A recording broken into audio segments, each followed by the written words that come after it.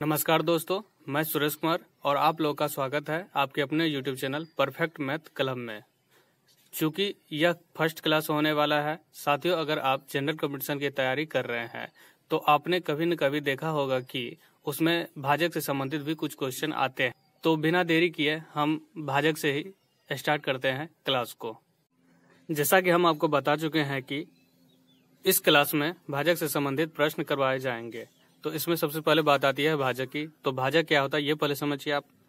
जिसे किसी संख्या में भाग देते हैं और वह संख्या पूर्णतः कट जाता है, वही भाजक कहलाता है। जैसे हम उदाहरण को लेकर समझते हैं, बारह का भाजक बारह के भाजक कौन कौन होंगे? एक होंगे, दो, तीन, चार छ बारह। ठीक है? सिर्फ़ यही ठो होगा। तो यानी एक से भाग दे रहा है तो इससे भी पूर्णतः कटेगा, दो से भी पूर्णता कटेगा, तीन से भी कटेगा, चार से भी कटेगा, छह से भी कटेगा, बारह से भी कटेगा। ठीक है? अब मान लीजिए इसमें हम उदाहरण एक, जैसा कि पाँच पाँच? पाँच इसका भाजक है कि नहीं है? ये इसमें नहीं दिए हैं तो यानी नहीं होगा? तो क्यों नहीं होगा ये समझिए। पाँच दूनी, दस, शेष कितना? दो। अब देखिए, पॉइंट में आ जाएगा, दशमलव में आ जाएगा। आएगा? तो सबसे पहले यहाँ तक ही करेंगे। अगर यहाँ तक में पूर्णतः कट गया, तब यह होगा। अगर नहीं कटा तो नहीं होगा। अतः यह पाँच जो होगा नहीं होगा भाजक। अब भाजक तो समझ लिया। अब इसमें समझने वाली बात है कि किसी का भी आभाज गुणनखंड कैसे निकाला जाता है। आभाज्य गुणनखंड। गुणन खंड ठीक है? जैसा कि उदाहरण हम लेते हैं 420 का। आभाज गुणनखंड कितना होगा? क्या क्या होगा? देखिए 420 है। दो से भाग देंगे। दो एकम दो।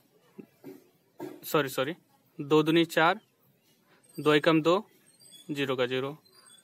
दो से भाग देंगे दो एकम दो। देखिए दस है तो यानी ज़ीरो उतरेगा दो पंचा दस। दो से लगेगा नहीं लगेगा अब तीन से लगेगा कि नहीं लगेगा ये बात ध्यान रखिएगा। तीन से कटने के नियम। अगर अंकों का योग तीन से कट रहा है तो वह पूरी संख्या तीन से कटेगी ही कटेगी। तो तीन से दे, देते हैं। पाँच एक छः छः कट रहा है यानी पूरी संख्या कटेगा। तीन तिया नौ, एक हासिल, तीन पचा, पंद्रह। अब देखिए, पाँच, तीन, आठ। तीन से कट रहा है? नहीं। पाँच से तो कटेगा। पाँच सत्तर, पैंतीस। अतः इसका जो है आभाज गुणनखंड कितना हो गया? देखिए, दो दो।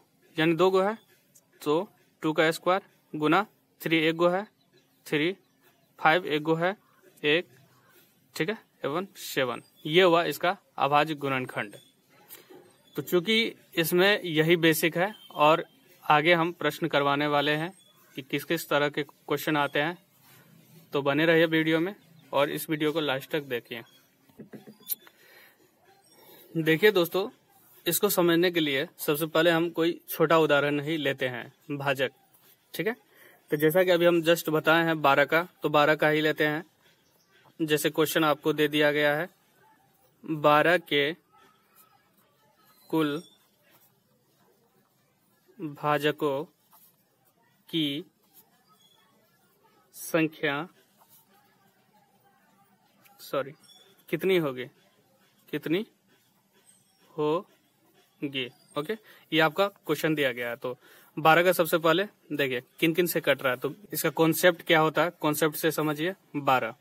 चूँकि हम पहले बता चुके हैं जिससे जिससे कटेगा। एक से कटेगा, दो से कटेगा, तीन से कटेगा, चार से कटेगा, पाँच से नहीं कटेगा, छह से कटेगा और बारह से। अतः इसका भाजक कितना हो गया? भाजकों की संख्या कितनी हुई? एक, दो, तीन, चार, पाँच छ छ हुआ इसका आंसर ठीक है? अब देखिए, ये तो आपका है कॉन्सेप्ट अब हम ट्रिक से इसको कैसे बनाएँगे? ट्रिक ठीक है? जैसे बारह का पूछा गया है तो जिस भी संख्या का भाजक की संख्या पूछी जाए, उसका आवाज़ गुणनखंड कर लीजिएगा। इसीलिए दो। दो छह का बारह, दो तिया छ और होगा? नहीं होगा कुछ? तो इसका जो आभाज गुणनखंड आएगा आपको तो टू का स्क्वायर गुना थ्री आएगा। तो इसका नियम याद रखेगा। आसान नियम है। देखिए, दो और तीन है तो सबसे पहले इसमें जो नियम होता है इसके पावर में दो है, इसके पावर में नहीं है कुछ तो एक है, ठीक है? तो सभी के पावर में एक एक ज़ोर करके आपस में गुना कर देना है और बेस को काट देना है, ठीक है? या तो आप याद रखने के लिए याद रख सकते हैं नॉट बेस को काट देना है। पावर में एक एक, जोड़कर आपस में गुना करना है। ये याद रखिएगा, जो इसका नियम क्या होता है? देखिए, यहाँ पे नियम तो क्लियर हो गया, नियम तो हो गया। अब इसमें सबसे पहले जो नियम बताया गया है, उस नियम से चलते हैं। बेस को काट देना है। मान लीजिए, बेस को काट दिया, ओके? उसके बाद पावर में एक एक जोड़कर आपस में गुना करना है। पावर जो है, दो का पावर दो है तो दो प्लस वन, एक हुआ, ओके? फिर आपस में क्या करना है? गुना करना है। फिर इसका पावर एक है तो एक प्लस एक, ठीक है? और आप आपस में गुना कर दिए।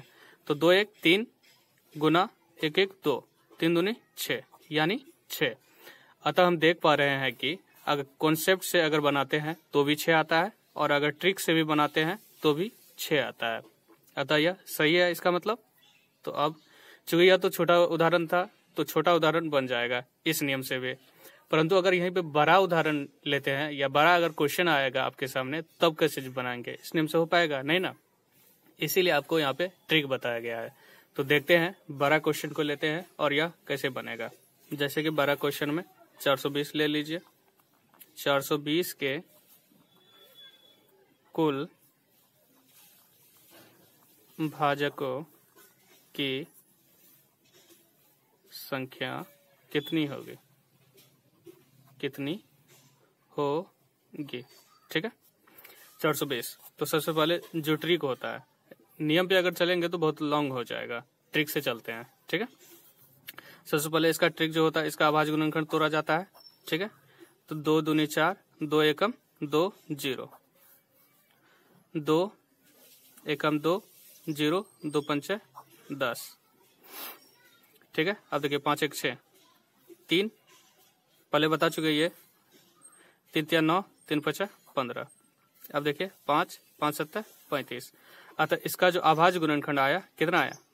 दो के पावर दो, यानी दो गो है दो के पावर दो, गुना थ्री गुना फाइव गुना सेवन सेम टू सेम नियम नियम को देखते हैं। बेस को सबसे पहले देखिए। इसमें नहीं है कुछ तो एक है, इसमें भी नहीं है कुछ तो एक है, इसमें भी नहीं कुछ तो एक है। सबसे पहले बेस को काट देना है। बेस को हम काट दिए, ठीक है? उसके बाद पावर में एक एक जोड़ के पावर में दो है यहाँ पे तो दो प्लस एक, गुना। इसके पावर में एक है तो एक प्लस एक।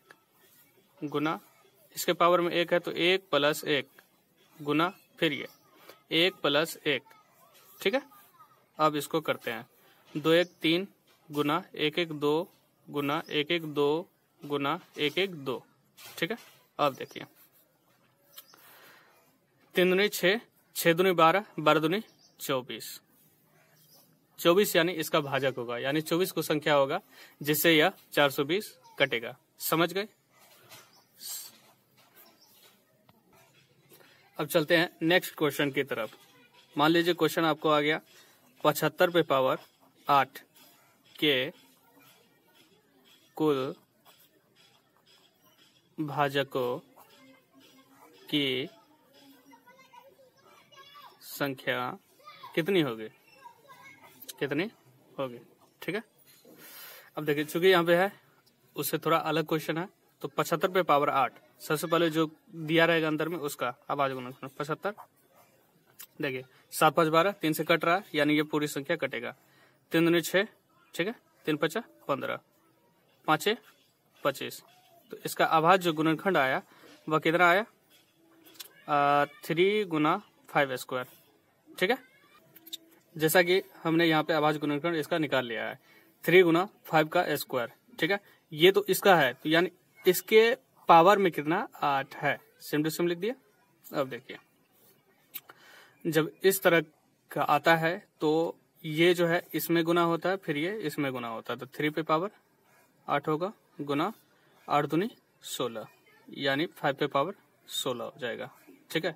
ये हमें आ गया इसका अभज गुणनखंड के टाइप से। यानी इस टाइप से आ गया। तो अब नियम पे चलते हैं। नियम क्या कहता है कि बेस को सबसे पहले काट देना है। बेस को काट दिए।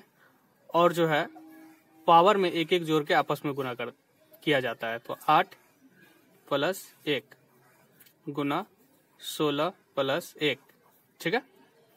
आठ एक नौ गुना सोलह एक सत्रह।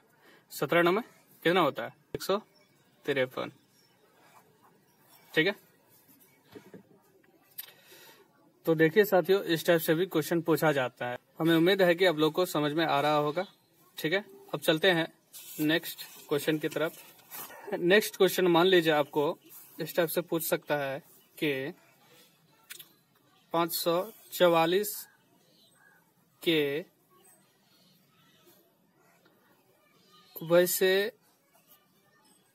भाजकों की संख्या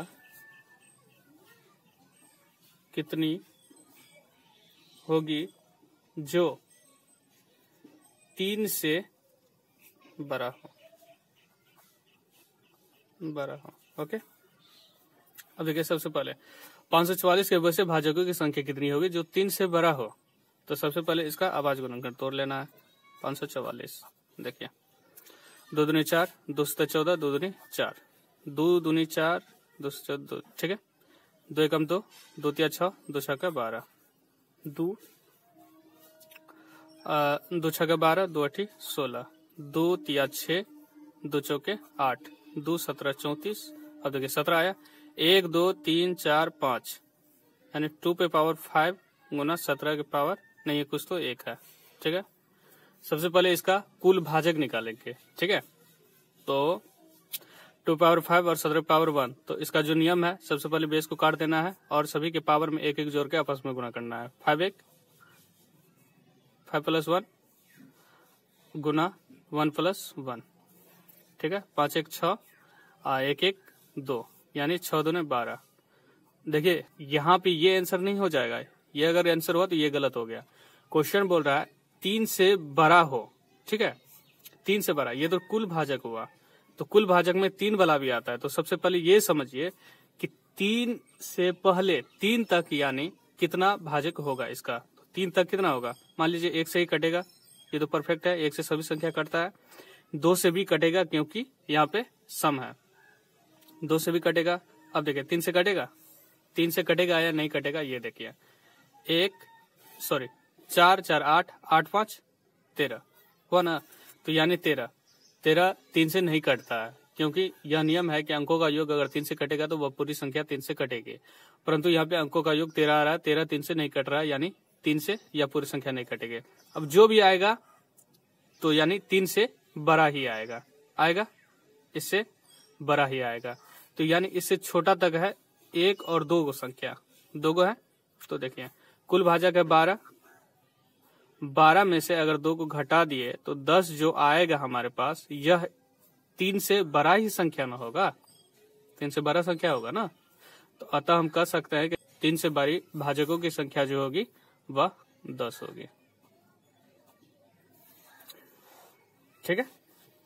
चलते हैं अगले क्वेश्चन की तरफ़, जो किस टाइप से पूछा जाएगा। जैसे आप मान लीजिए अगला क्वेश्चन आ गया, चार सौ सॉरी छ सौ चालीस के कुल भाजकों की संख्या लिखें ये थ्री क्वेश्चन आपके प्रैक्टिस के लिए अगर बन जाए तो कमेंट में ज़रूर लिखिएगा।